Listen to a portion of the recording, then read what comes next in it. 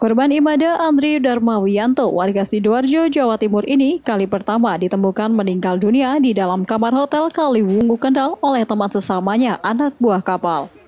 Saat temannya hendak mengantarkan makanan di dalam kamar hotel, korban tidak merespon. Karena curiga tidak ada jawaban, temannya korban mencoba melihat dari jendela kamar hotel dan melihat korban sudah terbujur kaku di atas tempat tidur.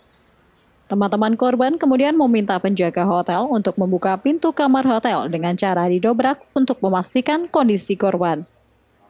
Menurut Soim, teman korban sebelum ditemukan meninggal, korban mengeluh batuk dan baru minggu sore menginap di hotel karena hasil tes swab antigen reaktif dan diminta untuk isolasi mandiri.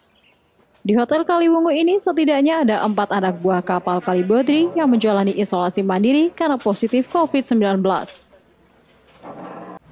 ketok-ketok nggak bangun. Ya sudah terus kita rame-rame gedor. Itu nggak mau. Akhirnya lewatan belakang jendela saya itu. Baru bisa kita panggil teman yang lain. Udah nggak ada.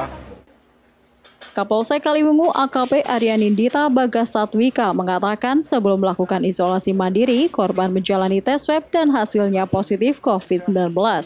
Saat ini petugas akan melanjutkan pengecekan lanjutan untuk mengetahui penyebab kematian korban. Karena belum ada baru dites tadi, kita masih belum tahu mungkin karena sudah ada gejala sehingga yang bersangkutan berinisiatif untuk uh, isolasi mandiri.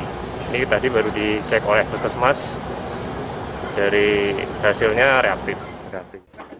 Proses evakuasi korban dari dalam kamar dilakukan dengan menggunakan alat pelindung diri. Untuk pemeriksaan lanjutan, jenazah korban dibawa ke kamar jenazah Rumah Sakit Suwondo, Kendal.